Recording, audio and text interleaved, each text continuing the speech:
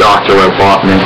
How dare you going around causing trouble on our YouTube channel? And how dare you work for Rubeus, uh, of the Rubeus of the Negamoon or Dark Moon clan?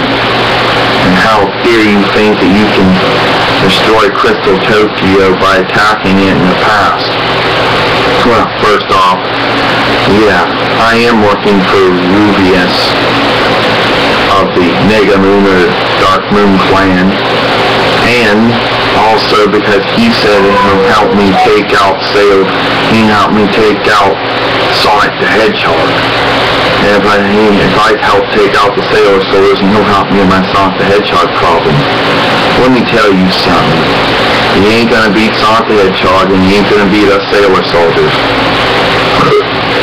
Up because I'm the soldier of thunder and I'm the soldier of flaming passion, Sailor Mars.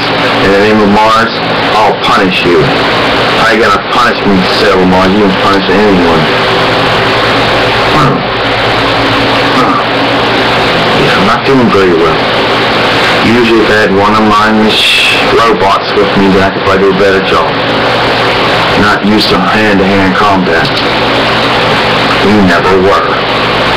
Not in the video games, not in the comic books, definitely not in the animated series either. Mars, Fire Ignite. Oh. Mars, Celestial Fire Surround. Oh. Mars, Flame Shooter. Oh. Yeah, I got some more. You want some more? I can give it to you. Sorry for that, but uh, you're gonna pay Sailor Mars. You hear me? I'll be back. You'll pay.